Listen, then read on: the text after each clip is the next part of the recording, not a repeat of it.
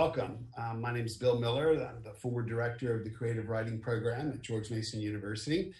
And my guest today is Susan Shreve, a novelist and uh, my colleague for much of my time as the director of the program.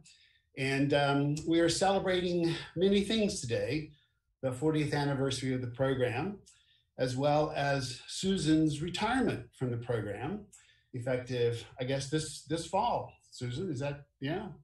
First year and, of not teaching. Yeah. I was a girl. and uh, and also we're going to be talking about her her most recent book, More News Tomorrow. Um, if you don't have a copy, um, you can order one uh, through a link um, that's available to you um, through the bookstore One More Page. Um, I'll mention this as we as we go along. Um, Susan, 40 years of a creative writing program is a long time, and you were there for four years before it even got started. Um, that's a long time to sort of put up with the bureaucracy of a growing university that was under resourced at the beginning and kept underpaying people and kept bringing in students and expanding. Um, I talk about about Mason, which I won't get sidetracked with with that through my years of its growth and and and whatnot. But but you were there for a little bit longer than I was and put up with it. Um, but tell us, how did you come to be at Mason, and um, what was what was it like being there? Um, I came to be at Mason. I had a job. Uh, it was 1976. I had a job at a high school, a private high school in Washington, and my husband and um, I were fired in the same week. I was fired from my job because some man who was an English teacher had come in and said he'd like a job. I had a contract for that job, but they gave it to the man. And so I no longer had a job. That was easy to do now. Then it would not be easy to do now. And so I was without a job. Porter was out without out a job, and we had four small children. And then I got a call the following day from someone named Myra Sklarew, who is a poet. She said, I just went out to George Mason from Washington, D.C. They offered me a job. I'm not going to take it, it's too far. Would you like it? And so I said yes. I went out for the interview the following day and was hired. There were three people who interviewed me. I was hired as an assistant professor. Hmm. And so that is how I began. I did that for one year, teaching a 5 5 load with very, very small salaries, as you say, we received at that time. And then I got a year off grant to teach at GW. And in that year off, I took, taught a 2 2 load at much more salary. And I went back to George Mason the following year and spoke to Dick Bausch, who was teaching there at the time and the only other writer, and said, let's start an MFA. He had an MFA, I did not. And so I went about going to interview people all over uh, the country on MFAs, how to do it, how it was best. There weren't that many of them to interview. And came back and asked the chairman of the department if we could have an MFA, and he said, certainly. Asked the president, who said, certainly. And that's what bureaucracy was in those days. the following year, we had an MFA. Well, and I can't believe how easy that bureaucratic non fight was um, but for those who, who aren't familiar with it, Mason did have an MA program uh, with several tracks, including one in creative writing. So there was some precedent. And there were a lot of students who came through that track, and I was very impressed with them. Right. What impressed you about them? Uh, the reality of them. They were living in suburban Virginia. They were working very hard. They had to pay for their own education. Uh, they were living real lives. There was nothing precious about it, and um, and therefore they had had interesting things happen in their lives. and of course, that is um, the history of the sort of organic nature of really good graduate creative writing programs. The, Right. the, the students, usually the best students, the most promising, most successful, really did have something to write out of. Uh, of course, this is rooted in uh, veterans returning from World War II, um, but the growth, of course, was exponential and beyond just those veterans. But it, it really found its its best core when when there were students, there was a population either brought in or already there of of writers, um, potential writers, and and people already starting to feel their way along as writers who who had that kind of uh, experience out of which to write. Um, and I always told people who expressed an interest in Mason's program that, that that we had that, and that we had the faculty, um, you and Dick and Steve and um, and others, uh, who could nurture that kind of that kind of capability and that kind of not find the Mason way, but find for each writer the the way to tell his or her own story or poem or or essay. Um, but I think the other thing that the Mason program has done tremendously well at for 40 its 40 years um, is community, building community and and bringing people in. Um, and I and I see this as a kind of a hallmark of the program, particularly now when there's been an exponential growth in low res and no res programs, um, and that is those programs that re- do not require you to come and live in community. And of course, with COVID, um, which has us here staring at our computers and each other on screens, um, and hoping we have audience members out there who are looking back at us, but we can't see them. Um, but that's of course changing a lot of classes to um, virtual classes rather than than actual communal classes. Um, do you think that we're in a in a change period? Um, and I ask you this question because you have always, always been a person with her fingers on the pulse of what's happening in uh, creative writing education as well as the literary world, and kind of melding those two together. Um, I think through the through the decades that you've been teaching, um, that's been a, a real trademark of, of what you bring to the discussion. So I'm interested in your insights. Well, I'm I'm very interested in what's happening with MFAs and what's happening with writing programs, with our writing program in particular, because when MFAs started was really when the magazine industry was no longer publishing uh, as much fiction. They took care of fiction writers, and somebody had to take care of fiction writers when when uh, the magazine stopped. And it was MFAs. We became teachers. I don't have a PhD. I don't even have an MFA, but I had written books, and so. Um, we became teachers and it became a profession for us. We didn't come first. Um, the students' desire for creative writing came first. I think that writing is a way of, if, if you never write a book, it is a way of figuring out the way you think. It's a way of understanding yourself and others. It's a way of communicating. And you mentioned something else there which would never happen in a much more sophisticated university that we have now become. But in those days, we were cowboys, and um, and every one of the first four writers at George Mason who remained to be become part of the MFA, myself and Steve Goodwin and Alan Cheuse and Beverly Lowry and Dick Bausch were all friends. We hired one another. Uh, Dick was there when I came. Um, and then Steve, I went to graduate school with. Alan, I taught with. This would never happen. It never happened today. We've become much more sophisticated. There are many people to interview, but I think that community that we had helped to grow the community of students that continues and continues with the faculty that we have now, which is a wonderful faculty, very diverse, very diverse in, in all kinds of ways and what they teach and what they write about and who they are. And I think this has opened up our MFA now to a whole new world.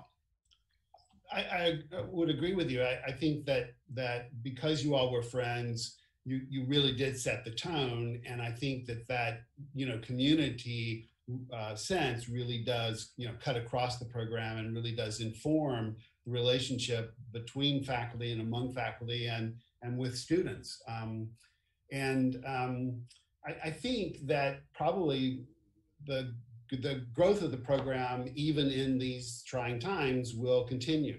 Um, and I certainly hope so. Um, I'm trying Well, to. the trying times are good for writing programs.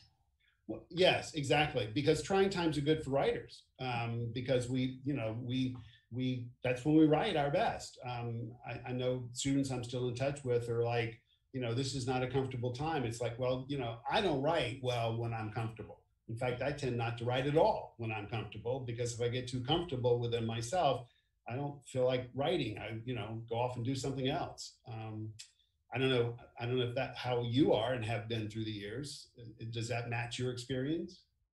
Um, I, I, think yes and no.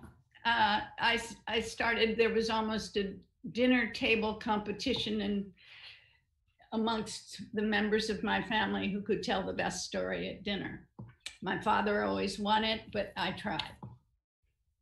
Say a bit more. What were your early stories like in those in those dinner time conversations and competitions? They were what my mother would call lies. They were about what happened to us that day that we made up. And my father and I and my brother did this a lot at dinner. And no, I really did grow up in a storytelling family, not a Southern family, a Midwestern family. I know Southern families are always storytelling families, but there was a little of the Irish tale that went on in my household. That's- So I think it was good grounding. I read a lot, but I think it was good grounding for becoming a writer. right. I would also say something else that, that, that you mentioned in terms of writing programs and how people are drawn to them. I do think this whole past century, and certainly the one we're in, we have been trying to figure out ourselves, ourselves in our community, ourselves in the larger world it's not so easily defined anymore. It could not be less easily defined than it is right now. But I think writing helps put your head together in that way, answers the questions that you find very difficult to answer, Yeah. which are where do I belong? Right, right. Um, you mentioned magazines, and you know, and, and when you talked about magazines kind of sustaining writers historically, I'm reminded of of the John Cheever story, um, where he wanted to, uh, I guess, wanted to take back a story he had sent to his editor at the New Yorker, and and you know, just was so angst ridden about how to do it, and and tried to get it back, and ended up going all the way into New York to try to get it back. Um, you know, and uh, so I, I- I don't think the plot uh, or the lot of, of life of a writer has ever been particularly easy. Um, we look back and think, oh, you know, they had it a lot better than we do, and that may or may not be true. But um, if we could resurrect John, I don't think he'd say it was easy in those days either. No, I don't think it's ever, it's not an easy profession. It's a fun profession if you like to do it. I happen to like to do it, but it's not an easy one. And it's, the world is not necessarily out there with open arms waiting for what it is you have to say. Right. So let me come back to the dinner time. When did you go from telling oral tales to writing them down, which is a, a different level of artifice? I took creative writing in college. Right. That was the first time I did. It was not welcome. Any kind of creative writing was not welcome in high school, was not welcome, particularly in grammar school. And I don't think that has much changed. So I took a creative writing course in college and um, and I was not impressive in it. Uh, but it was a very good experience for me. And then the second thing I did was work with Peter Taylor, and S- Steve Goodwin was the um, s- sort of Mr. Excellence in that class, and that was at UVA in graduate school. I was I was going to come back to that. You you said a couple of times you didn't have a, an MFA, which is true, but you do have an MA, and you did study with Peter Peter and, I did. So yeah. Um, But today, Steve and I would not be hired at a university without an MFA. Mm. And Well- actually, the president of the university at the time after we started the MFA, when he realized I didn't have one, he said, Well, why don't you take your own? And at that point, I was the only teacher in it. And in fact, at that point, you were in my class, Bill. I know, I know. Bill's a very good writer. Um, but you know, I took a creative writing class as an undergrad at UNC Chapel Hill, and I wasn't particularly um, outstanding there either. I got a B. I think Peter gave everybody an A. It was less troubling. You yeah, hear from them later. which makes me, you know, think that I must have been really bad because I think the tendency is, yeah, that you you you give them give all the students student hopefuls, you know, A's because it's less troubling. And you know, um, what is it that I think Dick used to say this? He didn't want to be the the writer who gave one some famous writer to be the B that then came back and said, "See how wrong you were about me. Here I'm writing all these bestsellers and winning all these awards, and you gave me a B in your class." anyway, I gave out B's when I was teaching. I'll tell you. Maybe I was inspired by the instructor I had at UNC Chapel Hill. But let's turn attention to this most recent novel, shall we? Sure. Um, talk about the seeds of it a little bit, if you will. Um, this is this is um, well. Let me just let me just throw it out there. Um, I, I one I want to say no. Let me not throw it out there. Um, I find this novel to be um, richly complicated. Um, in part, it's a murder mystery. In part, it's a quest story um, as as Georgiana seeks the truth of her mother's murder. Um, in part, it's a it's a very vivid character study because you have created such vivid characters. Um, there's a thing about your work, having watched it over the arc, and one of the things that I've done um, in my career as a writer and student of, of contemporary literature um, is to read the the sort of lifelong collection of numerous writers a lot of writers do get to that point, usually about the fourth book or so, where they find their thing and then go on with it. You know, um, a lot of people talk about Toni Morrison and Beloved, but the one Jazz before Beloved is a is a much more brilliant book than Beloved was. Um, but nobody knows that, you know. And there are lots of writers whose whose book just before the breakthrough book was was good. But the thing in writing, in reading all of your writing, um, is that there isn't one book where you know where everything is is um, then set forever after.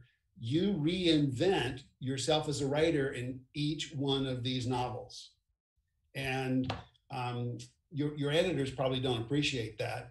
But as a reader, as a reader, I certainly appreciate that, and as a writer, um, I, I, greatly appreciate what you're doing for expanding your own craft each time you sit down to do one of these novels. Um, so it's it's with that informedness, if you will, that I ask the question: What's the seeds for this one? The seeds. I, I this summer I did this funny little exercise, sitting down and writing the seeds for all of the books that I have written and um, and it was interesting. I started and I remembered the seed for this book um, was my grandfather, who I never knew, or my grandmother, um, owned a boys' camp in northern Wisconsin. Wisconsin was a place I've never been to. Now I have. Um, and I was looking at this picture of them. They were in a canoe. It was bucolic, a beautiful, sort of warm picture of a young couple in love in a boat at a boys' camp. And by the time I got down to make coffee, after looking at this photograph. And I'd never given him much thought. I never met him. He was very important in my mother's life. His wife died very young. He died very young. And um, so I'd never really had any sense of him beyond what my mother said, which was completely adoring. By the time I got down to make coffee, I had a book, and the book was about a man who was Jewish, and it, the year was 1941 when it began, and uh, when it really began. And uh, he um, murdered his wife, who was the daughter of a professor, medical doctor at the University of Michigan. None of these things were true of my grandfather and my grandmother. But suddenly, this man that I had never met um, morphed into a murderer, into another time, into a time in which there was tremendous anti-Semitism in the Midwest, and he was he was a Jew uh, and married a WASP. And where all of this came from, I have no idea. But I think that's how books begin. Something starts them. And in this case, it was a photograph. Hmm. And they become something you had no idea you had in you to write because this man who's a who's i think a likable man i liked him a lot uh, who murders his wife not everybody who read the book liked him i thought that was not necessary but um, but I wanted to try it. Well, and you don't really know whether he murdered his wife or not because but his daughter he they had one child and he died in prison his daughter um, wanted to know when she was grown up and had children of her own and was a widow she wanted to find out so she re um, reenacted their trip. He was he was murdered. He murdered her at a campsite, and she followed that trip, took her children along, and that was essentially the seeds of the story. But these things take funny little paths in your mind as you begin to think about them. And then I went through and I did a funny thing, which was to count the number of books in which somebody had been murdered and there were way too many for a middle-aged woman to have written.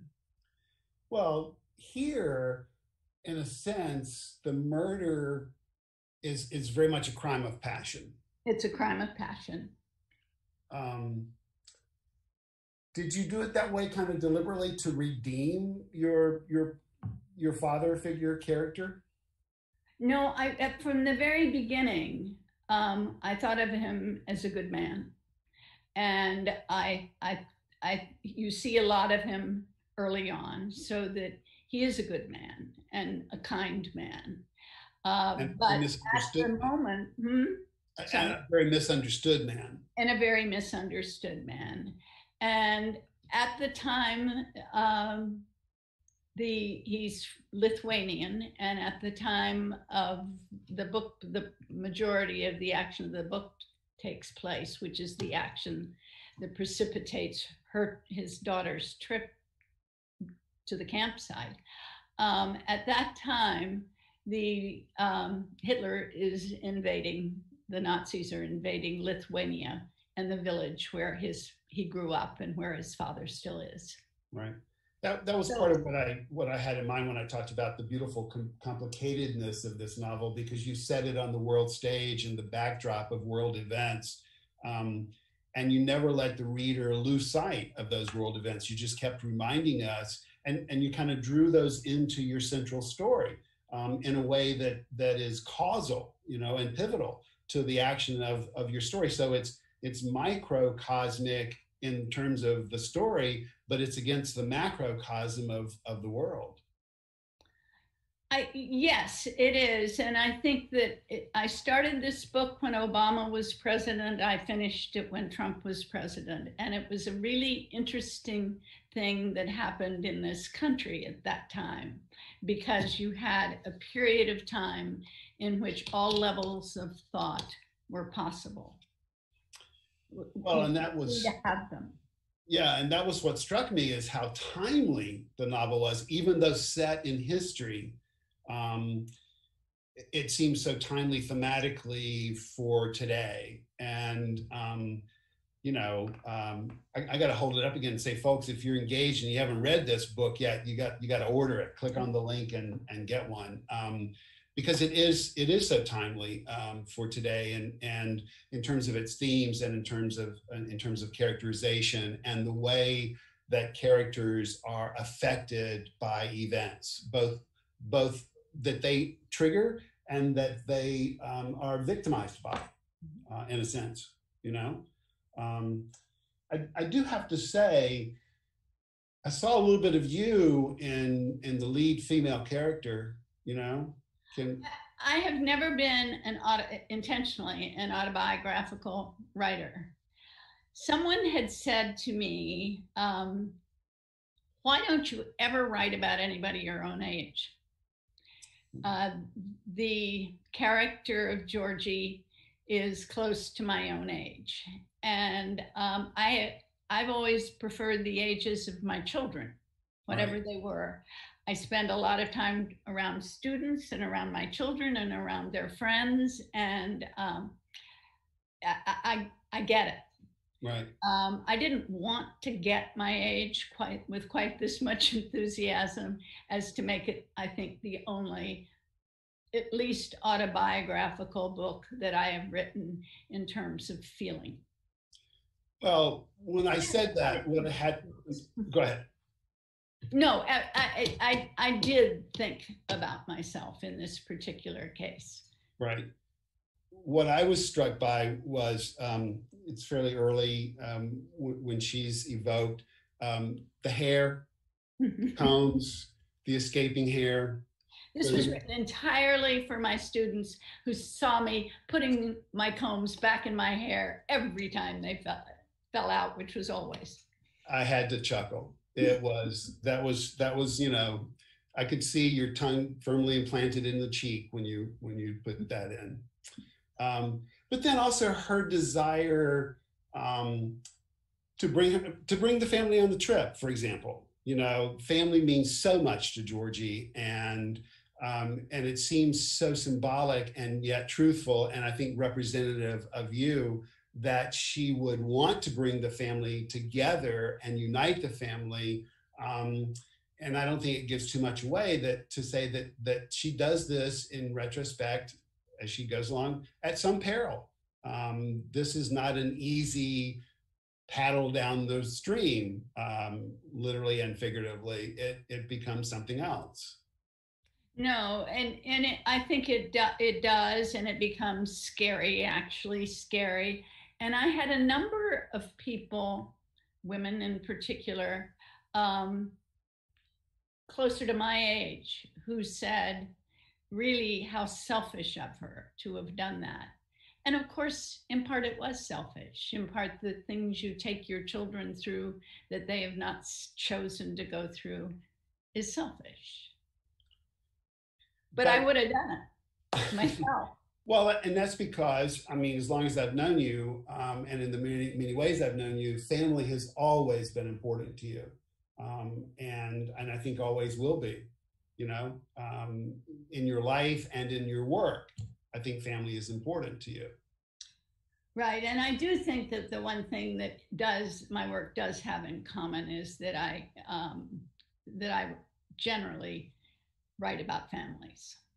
Right. I mean, um, I was going to say, I think if there is a thematic uh, constancy or continuity within your work, it is family as a theme. Mm-hmm. Um, Miracle Play, for example, um, which which if you know if there is a book that sort of established a wide reading audience for you, I think it was Miracle Play, um, which was, if I remember correctly, a book that you had a grant to sort of step back from your teaching load and finish um, and I feel like it sort of allowed you focus um, that some of the previous books had not allowed because you were doing two or three other things, teaching your load and and doing leadership positions in the in the writerly community and that kind of thing.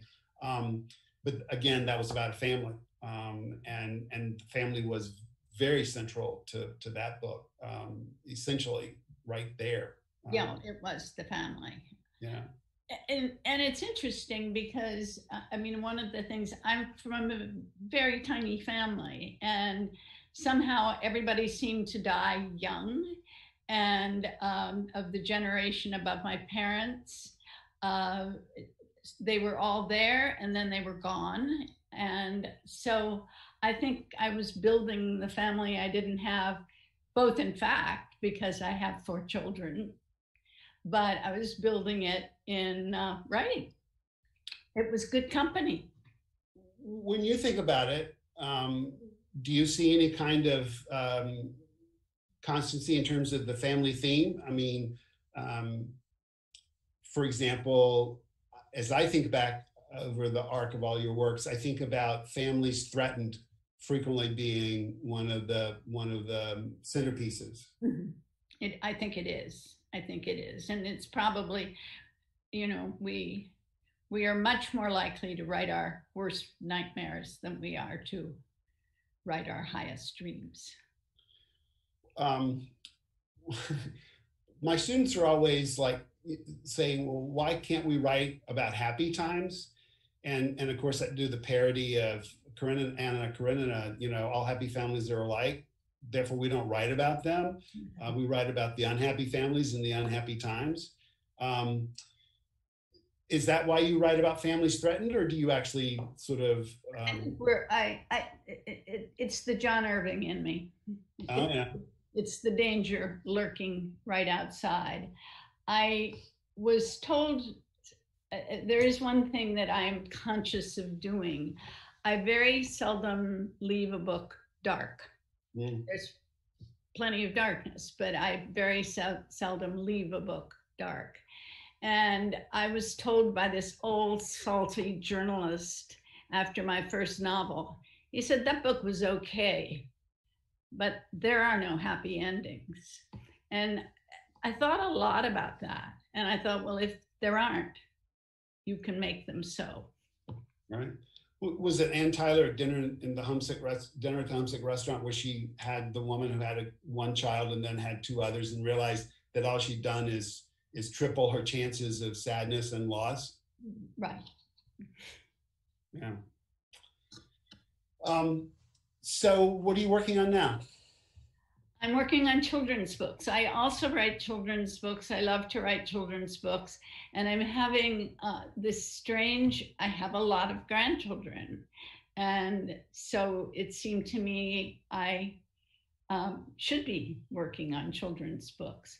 But I have some writing grandchildren as well.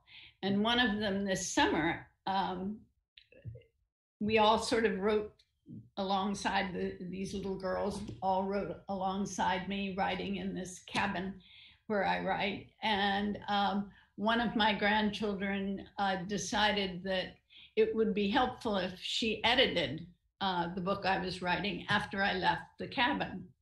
And so I left the cabin and went back the next day. And the book on the computer was not quite the same book I'd left on the computer it was greatly edited. So it's been interesting because I thought, well, she was reading that book and she thought it, there are a lot of problems with it.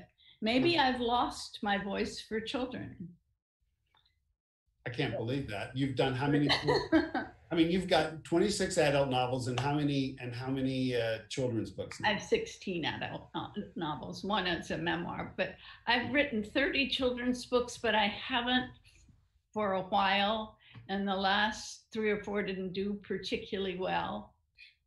Um, and now my editor, who was Harry Potter's editor, has opened up his own shop, and it's a diversity shop. And um, I asked him, could I provide age as a diversity? Hmm. And I don't think it's going to fly. Um, well, we have uh, we actually have audience members, um, at least at least one. Um, Grace Kwan, who is an alum. I'm sure you remember Grace. Um, Grace so One was my little discovery. yeah, we will send a shout out to Grace. She has she has written a question Um, what's something you always wanted to write about but have not? That's a really interesting question. That's Grace. Um, I would love to write a real love story. America doesn't have many love stories. Um, and the closest I ever got uh, was a book called The Train Home. Yeah. It's not really a love story, it's the suggestion of a love story. But I'd love to be able to write that. And love stories are hard to write. I always saw the train home as a as a as a wonderfully rich allegory. It it was that's what it became more Yeah. was an allegory than a love story. I, I think you get to be angry that critics didn't get that book as well as they should have. They didn't. Um, and it, it- no, the critics didn't get it, didn't sell particularly well. Um, and I still love it. Me too. Um, another alum, Aram Han, writes, "Who are the authors you're most excited about right now?" you know, I'm reading authors um, right now that I have not, uh, that are new new writers, because I think, I think we're in an interesting, um, a little bit throw the spaghetti against the wall time as far as writing is concerned. It's very different. It's very um, open ended, and it's very diverse. And so to say one particular person. Um, one of the things that I have planned for this year is I'm about to take a course in Ulysses. So I'm not going forward, I'm going back. But I think that there's something to be said for going back when you haven't for a long time because I've spent the last however many years, 45 years at George Mason, teaching a lot of contemporary fiction. And uh, so I think that at this particular moment, I'm excited about Joyce. Yeah. Um, well, when you talk about diversity, uh, I would just elaborate a little bit on that. I mean, not only is there race and gender diversity in ways that there hasn't been before, but there also is aesthetic and stylistic Oh. diversity. Yeah. It is, and and there's some amazing books Right. um, that are being being written. And another thing that's happened that was not true of my generation, which was really brought up on the classics, uh, is that because of all this reading of contemporary fiction, all of you have been doing, all of the creative writers have been doing, um, there's a lot of exper- experiment, there's a lot of um, daring that is going on. Um, and there's a lot of of melting of fiction into nonfiction. Um, it's an interesting moment in writing. It I- is. Lots of doors are open. Um, and we're actually getting some uh, some uh, discussion going here. I've got another question that's been sent to me. Um, why do you think love stories are hard to write? That's a really good question. Um, I think love stories in life are hard to have. I, I think so much of um, so much is, the beginning of things, but then they have to move to some sort of end. And that is difficult to move something that's wondrous at the beginning to an end that has its own sense of wonder. And I also think um, we're such a culture of what's next, what's coming up. Yeah. I, I won't bore people by talking about my own writing, but but that is something I'm playing with in a short story that I think could be the first of a connected series of stories um, and make a book. Um, on uh, love stories. what? Uh, love stories. Well, not so much that, but it, it's this couple, and they're they're they're both in a group therapy setting, and um, this guy is there because his mother has died just recently before this, and he feels very guilty about her death because he didn't see her enough, and he feels responsible for it. And he reaches out to a woman who's in the group, um, and she tries to help him, um, but they don't really fall in love so much as they fall in need for each other. So you could follow that, you know. Mhm. Um, Lena Patton writes a question. Uh, what surprised you most during the process of writing this book? Dina, are you in Germany? We'll have to, she can't answer, so Oh, we'll she can't answer, of course. Right. Um, oh, what surprised me most about writing this book is that it worked. I really do feel it worked. Books don't always work. Looking back on books, some I would like to have a hand at again. Um, but this worked and it seemed impossible in so many ways to work. But the other thing that pleased me about this is that we're at a time, and it's an important time, and I totally believe it, in which the words you hear in universities and all over the place is that you cannot appropriate another culture. And this book um, is a love affair between is a very quiet love affair which is to say there's there's not much shown about it until the very end uh, between a black man and a white man white woman Right. and that nobody ever mentioned it to me i thought wow i can hardly open my mouth in class without somebody saying something some line i've crossed this really surprised me and it was as though they had not noticed they had noticed the the attraction the connection but not not the color Right. Well, I noticed, I noticed that, go- you go ahead. No, no, it just pleased me because yeah. I think everything that has been i i our sense of language now and how it applies to us and how it applies to others is being called uh, called attention to, Right. and I think it's really important. And at the same time, um, I was extremely pleased not to hear a lot about this. Hmm. Well, I saw it as, as pivotal, I, and I didn't think the race mattered so much as the attraction did. Mhm. Um, but of course, the the um the race mattered in the context of that time period and the barriers to fulfillment of the connection. Um, so you know, I, I I I sometimes get accused in doing these things of giving away too much in the in the plot line of a story. So I I wasn't going to get into that, but I think it's it's essentially pivotal to the redemption um, and the redemptive aspects of the story that we're telling. Um, and yes, we got a response. Lena is in Germany. Um, uh, Priyanka uh, writes Is there something in your writing process that has remained the same since you first started? And what has changed that you wished you'd tried earlier? Good craft question. You know, it it is Priyanka. Priyanka has written an absolutely beautiful book that is coming out. I am eager, eagerly awaiting that. Yes, absolutely. I, it, it, it, it, it, won a prize. It's coming out this winter and it's gorgeous. Um, I, I think that, I think in terms of craft, uh, I've become more and more conscious of language. I was much more conscious of story in the beginning. And then I became aware that um, I wanted to be a better writer. Hmm.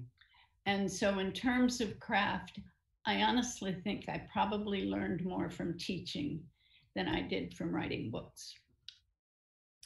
you do have a wonderful um, craft with with language. Um, the rhythm of sentences, you know, John Gardner and the whole thing about about um, in the elements of fiction and, and those books that he did talks about like line editing and doing the the accents and like you were doing poetry. Um, and and I don't I don't know that I'd advise that because it would probably you know turn off too many people. Of course, that might be good, cut down on competition when I send my stuff out. But at the same time, the rhythm of your sentences, they move forward at a, and oftentimes at a kind of clipped pace, but at the same time, they move the story forward in, in interesting ways, you know? Um, and I think it's because of the, the rhythm of the sentences that it kind of provides the force and the energy that moves the reader through the story.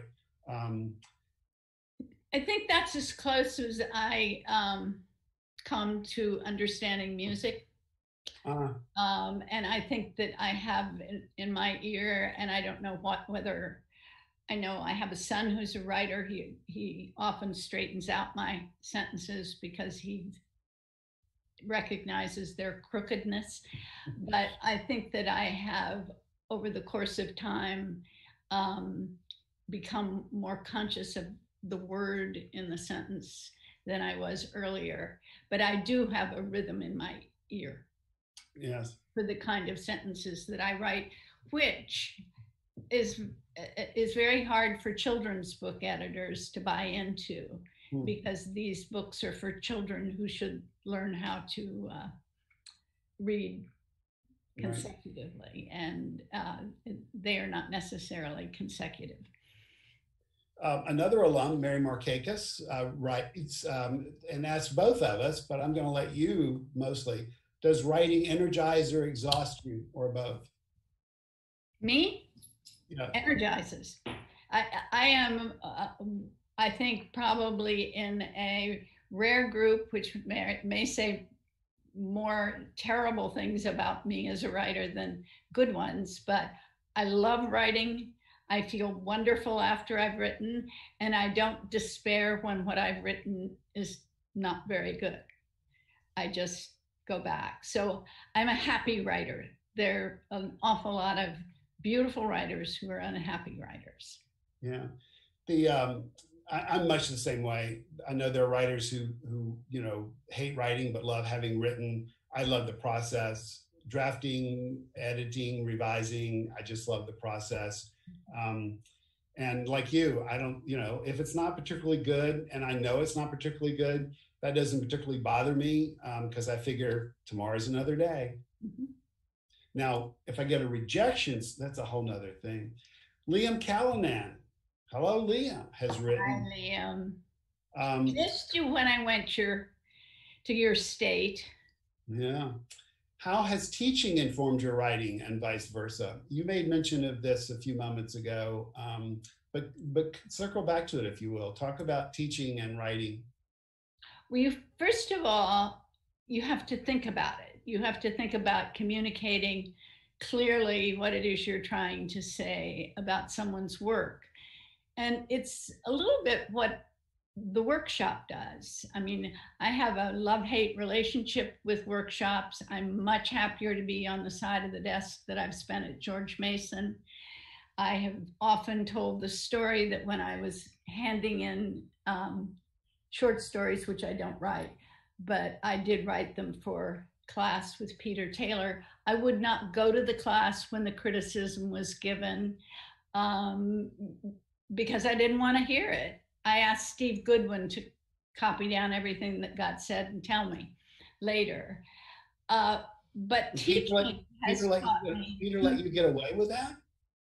Um, yes, he probably was just as happy to have Steve take that news back.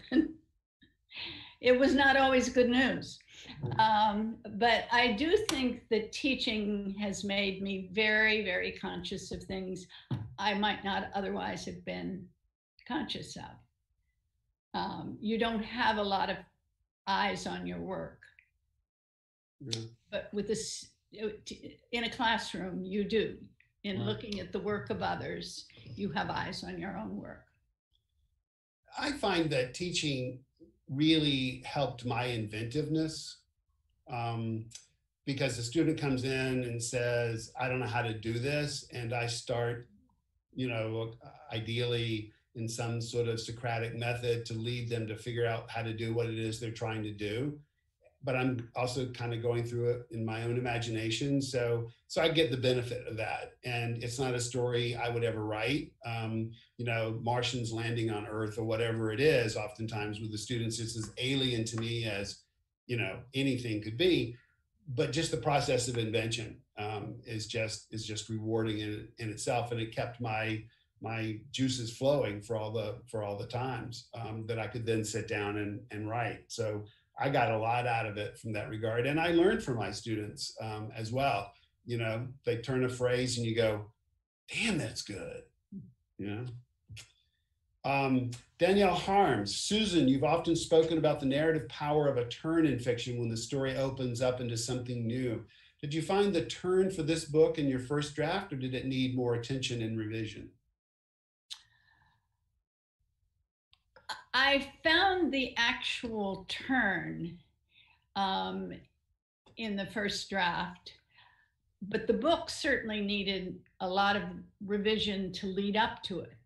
So it was the beginning of the book that I really revised a great deal in order to earn the turn, more or less. Would it be too revealing of the plot line to ask where that turn where is for you? The turn there, um, the the the actual turn is is reaching the river when they reach the river. Right. Which really begins the quest. Which um, begins the quest. And my problem at the beginning was who's in charge. And it took me a long time to come to Georgie being in charge. I didn't want a 70 year old woman necessarily as my protagonist. I, I wanted another younger protagonist, much as I wanted a younger self. And, um, and I kept sort of uh, scrambling around with that. And when the turn came, it was clearly Georgie's story. Right.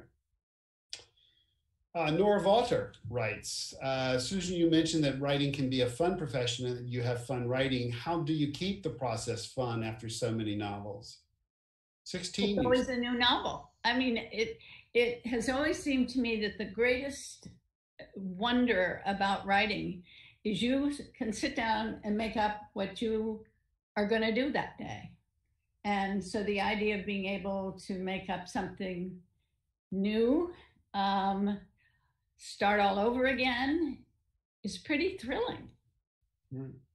Um, I hope I'll have the good sense to stop when I'm done. That's that's the danger.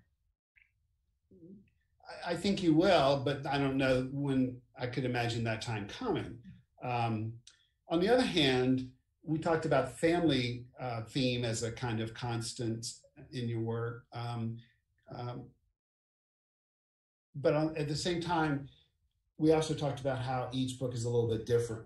Um, and a lot of writers tend to go to the same kind of themes, the same kind of uh, ideas, some of the same plot lines, or some of the same discoveries they've made before, because they can't totally reinvent themselves as writers each time. Um, but you, I think, um, from conversations we've had through the years, you're spe- you're uh, spinning your stories out of where you are in life and where life seems to be around you. Um, and I think because you because you are combining an extrapolatory process, if that's a word, um, you're extrapolating from the world as well as from your own self, and you're blending those together. I think that process of that synthesization is must be fun for you. It is fun, and it is also a way of. It's not that I always write contemporary novels, but it's also a way of. Um, having I, I'm very interested and not particularly proficient in history, but I'm very interested in history and the way the history of one's time or the history of a generation affects that generation, the, all the people in that generation. And so uh, that part of uh, that part of writing I find very attractive. And inventing a world is attractive and and i it, it, it means that i have to learn some things that i might not otherwise learn. Right right now for example i've been thinking about all the research i did uh, in the flu the pandemic of 1918 which was a lot of research uh, for like two pages.